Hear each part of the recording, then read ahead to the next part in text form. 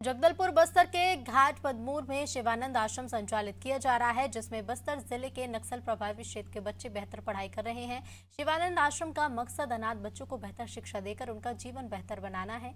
आश्रम में सुबह होते ही सबसे पहले बच्चों को प्रार्थना कराई जाती है और इसके बाद इन बच्चों को अच्छी शिक्षा दी जाती है। साथ ही उन्हें बेहतर भोजन भी दिया जाता है। अब इस आश्रम में तीस बच्चे शिक्षा ले रहे हैं और इसी को लेकर शिवानंद आश्रम चला रहे हैं।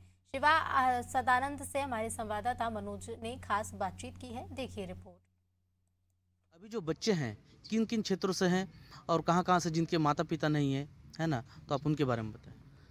ये बच्चे बस्तर संभाग के खासकर जैसे बीजापुर है सुकमा कोंटा नारायणपुर और बारसुर क्षेत्र के हैं। ये आसपास के भी रहते हैं यहाँ से पंद्रह बीस किलोमीटर से।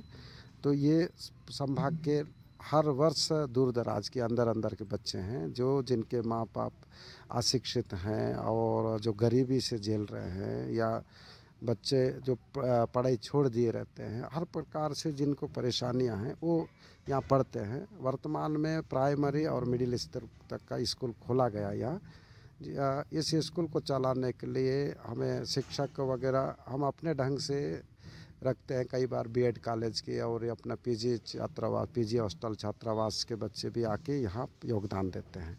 लेकिन हमें स्थायी रूप से शिक्षक की आवश्यकता है और इसके लिए सबसे पहले हमें आर्थिक मदद की आवश्यकता है। इसके अलावा जो बच्चे नाइन्थ से लेकर कॉलेज स्तर के एक दो एक दो रहते हैं, जो आसपास के शासकीय स्कूलों में जाके अध्ययन करते हैं, जिनको यहाँ पर निःशुल्क ढंग से हम लोग उनका भरण पोषण और शिक्षा दीक्षा यहाँ से हम लोग देते हैं। संस्कार के माध्यम से।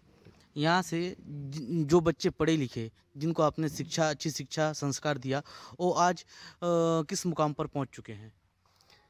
जी आज वो बहुत अच्छे स्तर में हैं क्योंकि सीमित और ऐसी परिस्थितियों के रहते हुए भी बच्चे का जो यहाँ मेहनत किया उन्होंने एक तो उनका जीवन शैली में परिवर्तन आया है और एक आध्यात्मिक ढंग से उनका जीवन में बदलाव होने के कारण वो बच्चे उनकी सोच, उनका व्यवहार, उनके परिवारों में जो परिवर्तन आया है।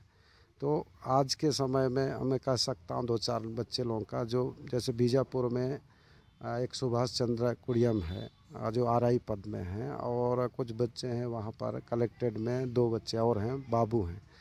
और अपने दंतेवाड़ा ज़िला में किशोर दीवान जी हैं, वो भी हमारे इस आश्रम के मार्गदर्शन में पढ़ाई किए हैं, अभी वो भी पटवारी में हैं। तो बहुत सारे बच्चे हैं वन विभाग में हैं, कुछ देश सेवा में लगे हुए हैं जो सैनिक आदि बन के तो हर कार्य क्षेत्र में कार्य कर रहे हैं